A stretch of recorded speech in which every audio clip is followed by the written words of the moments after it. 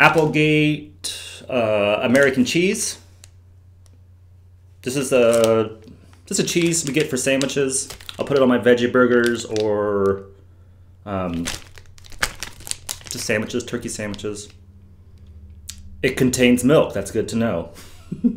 RBGH free. It's a growth hormone. What does the R stand for? I know BGH, bovine Bovine growth hormone. So this does not have that. I don't know what the R stands for. I'm not sure either. Sorry. Wow, their their tagline is "Changing the meat we eat."